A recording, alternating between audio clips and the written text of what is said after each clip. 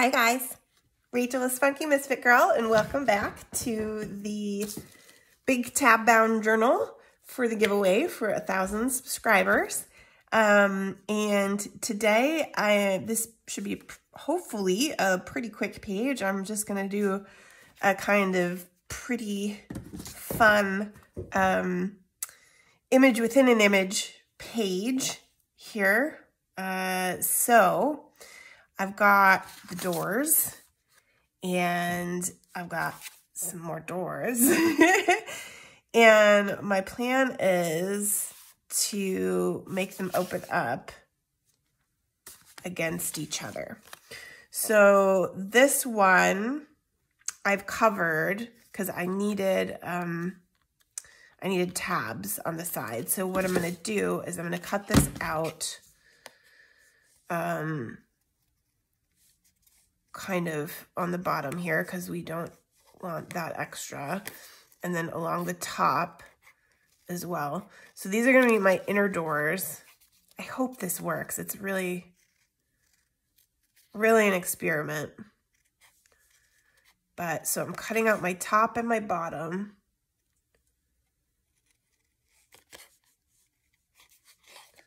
Along my fussy cut lines here. And I just took a piece of extra of my paper to kind of make this blend in because the, the back side will show when the door opens, of course.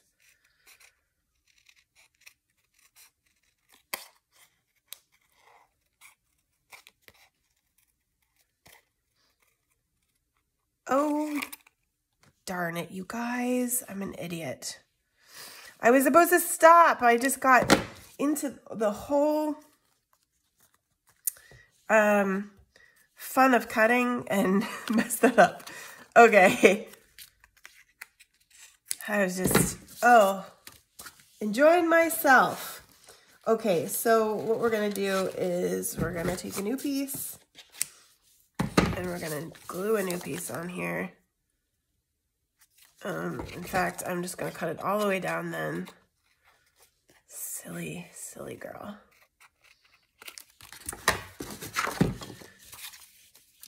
Gotta pay attention. Okay, because what I want is a tab on the side here, just like this, so that I can fold it and use that to glue it in. I'm going to cut these apart so that they'll open up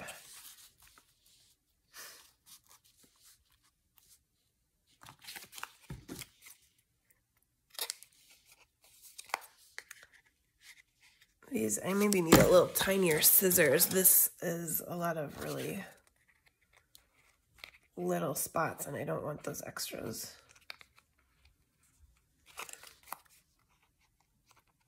on there. Okay. Brains activate. Sunday and I've been chilling and I missed cutting apparently. Okay. Yeah, so what we want here then, we're to do is just glue this onto here.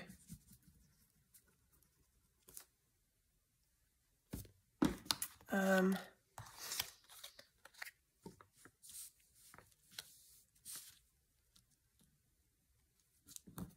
might look a little wonky on the back side, but that's okay. I can put something over it if I really hate it. Um, and then I want to make it kind of about the same itty bitty. The thing is, is it's a little, there's a little extra here, but I don't want to, if I cut it, will I be okay? I'll still have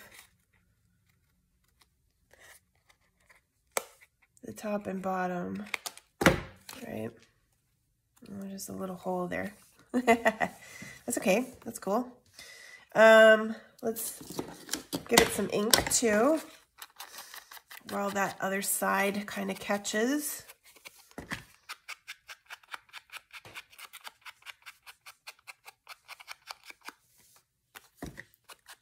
Top and bottom. Um, okay. And I want really just a bitty one, so I'm going to cut a little more off of here too. And then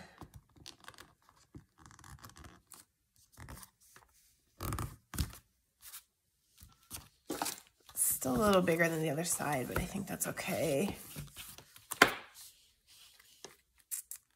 Um, let's move it. Yeah, actually, I'm going to cut it, I think, because I want it.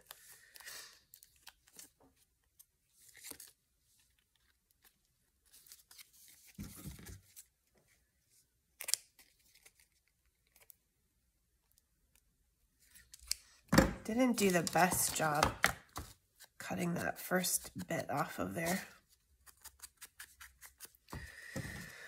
Okay, that's okay though. We'll just do it the same way as the other side and cut this. So there's that little hole, but it doesn't show. I really should use the little scissors too. These big ones are too clunky for this. Tiny precision cutting. Okay, that's okay. That looks good. Ink it up.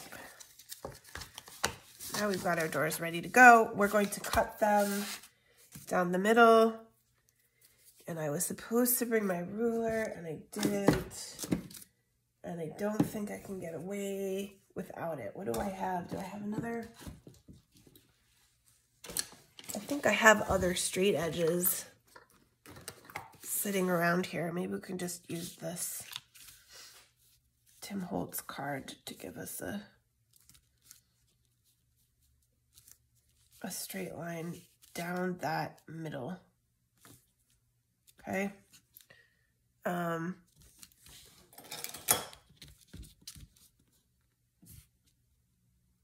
the only thing is I would like this to, oh, that wasn't enough. I've got so much weight on these now. And wasn't exactly centered either. That's okay. It's still gonna be very, very cool. And this is like gone beyond junk journaling and it's now like pop-up art. I think for the bigger one though, I'm gonna want my ruler.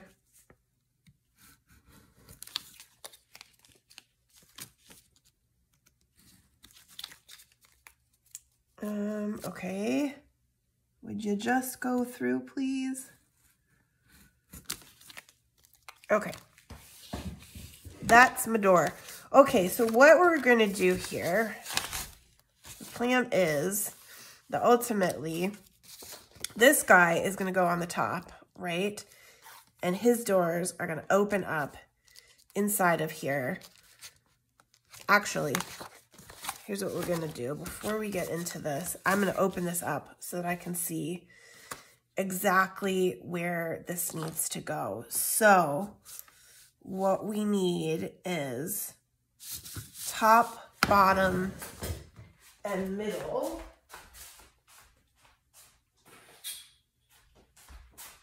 And I don't want to muck it up, so ruler it is. So no sides, just the bottom here. We're gonna go, yeah, I think right along here. It's a little hard to tell where to stop and start it, but that's okay for the moment. And then this top, we're going to go along that edge, right? Yeah, just where the wood meets the stone in the design. Curve it around.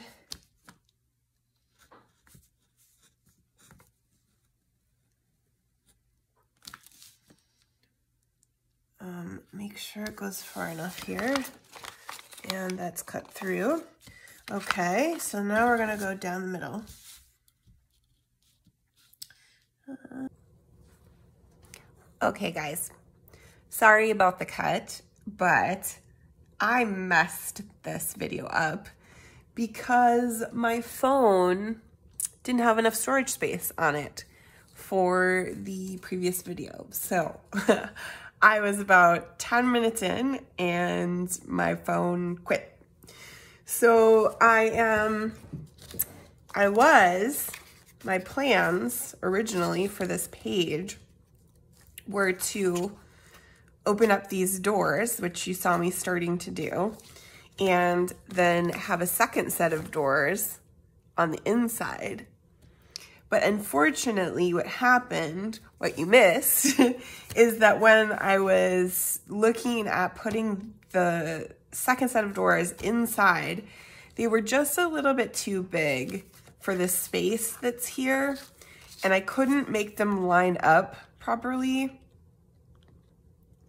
and also be able to kind of flip open, right? They would have, the flip would have had to go back behind these and it wouldn't have worked.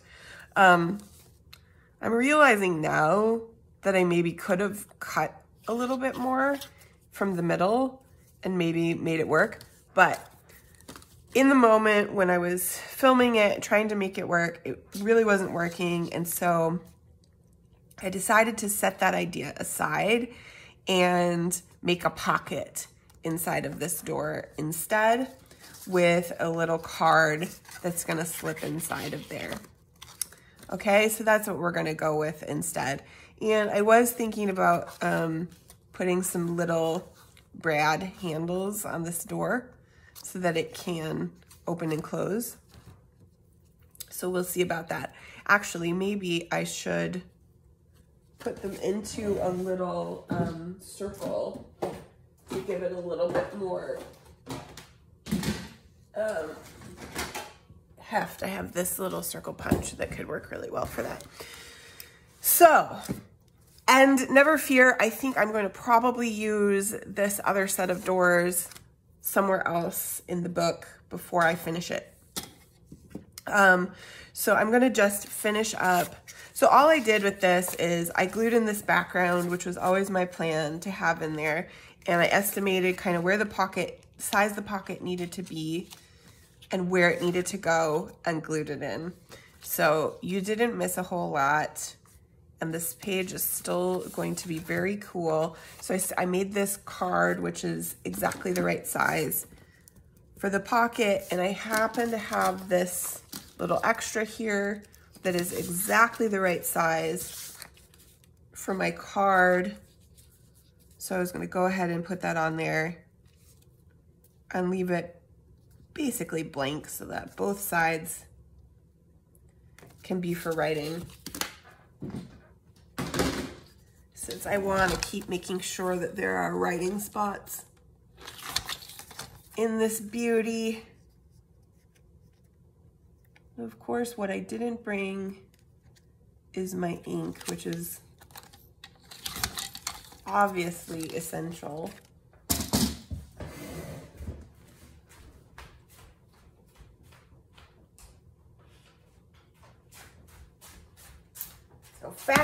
A little and let's ink these up and figure out what kind of circle is going to make the best little doorknob in terms of what we have left for papers. I am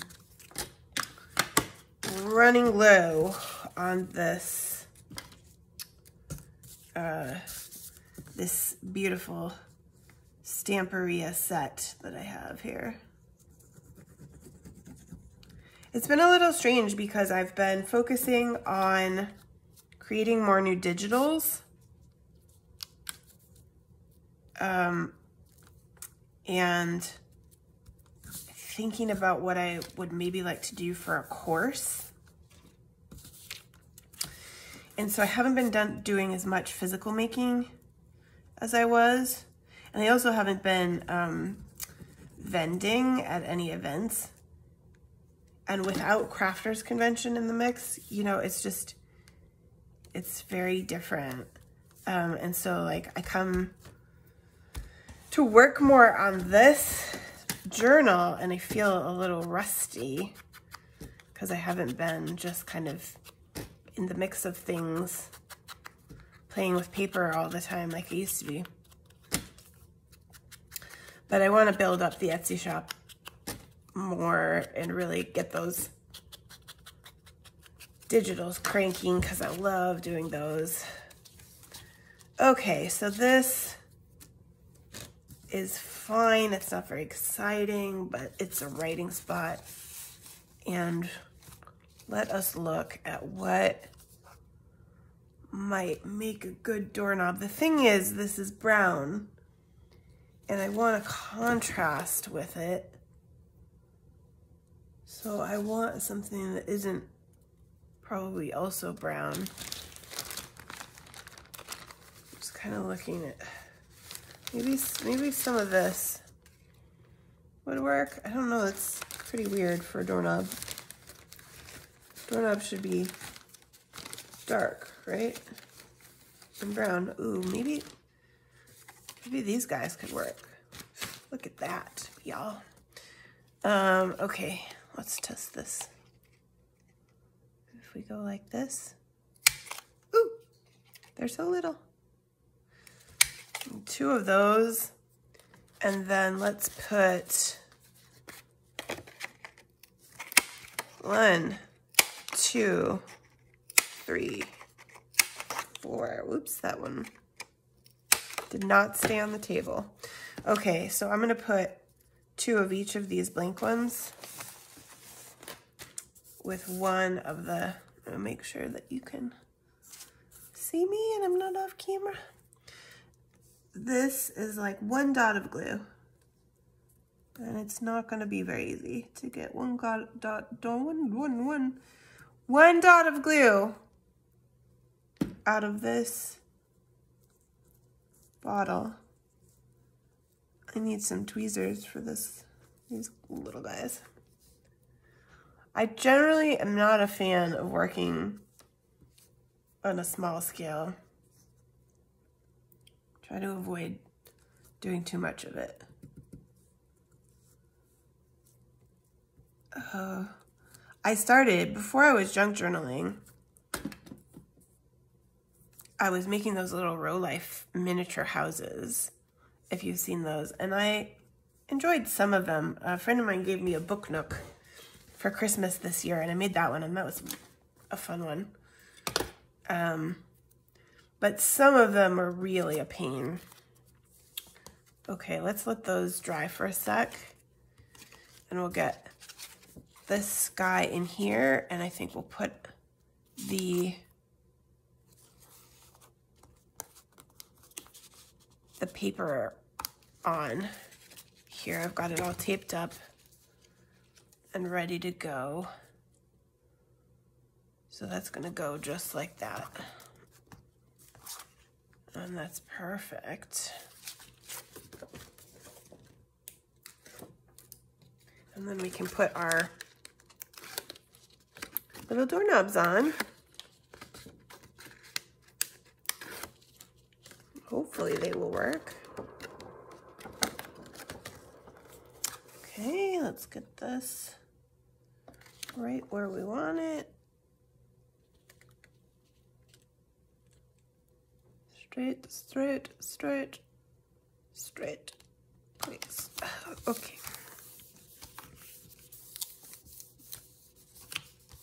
Super cool. Okay, so we're gonna make some little holes. Find the awl. Let's see where we want these guys. Oh, that's perfect. I really like that. Little, those little guys that I chose for um, for the knobs. They're not really dry enough yet. I don't want to mess them up too much here. This is always not as easy to do with an awl as with a punch. But I'm not sure it would be good to punch it with a with a Crop-A-Dile on these because they're so little. I'm afraid that might be a problem. So I do want to use the awl, but I also need them to to dry. Okay, that's very little, but maybe that allows us to punch the holes too. Actually, how do I want to, maybe I want to just mark these. I think that might be better just to kind of get a sense. Normally I would go through and actually I think that's what I'll do. Hopefully that will work okay. Okay, so that guy goes just about like that. And then we're gonna put this one just about here. Maybe a little on the tall side for a human, but this is a door for elves, right? So elves are taller. so they want their doorknobs higher. All right, and then I take my little brads. Hopefully this hole is big enough that I can actually use it. Probably have to go back and biggin it. It's not quite. Okay, yeah, got that guy in there. All the way, all the way. And then through here. And the question is, I think I might, I don't usually do this, but I think I might just leave my brad legs open. Maybe put a piece of washi tape or something, just a little strip over them. I don't really want to fuss with trying to make covers for the full backs. And I don't think it's necessary. This is, it's not a pocket or anything functional that you need those to be covered. And I think it looks okay showing on the inside. A little bit of the mechanics. Awesome. How cool is that, you guys? All right, so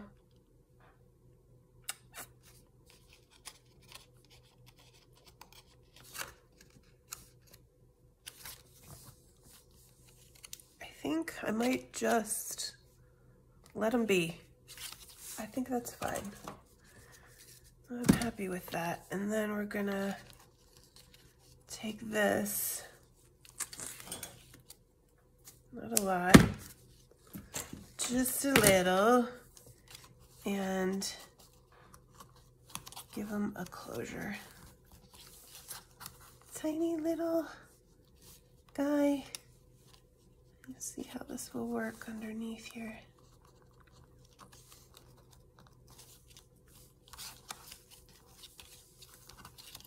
And then I just want to wrap like maybe once. I'm going to clip that end.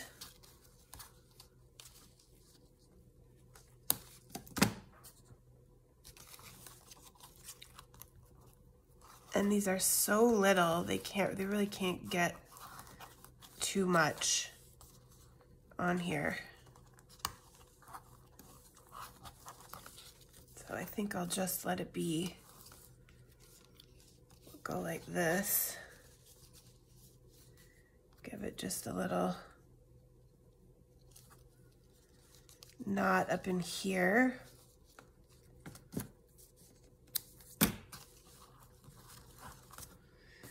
And then you can keep your doors closed.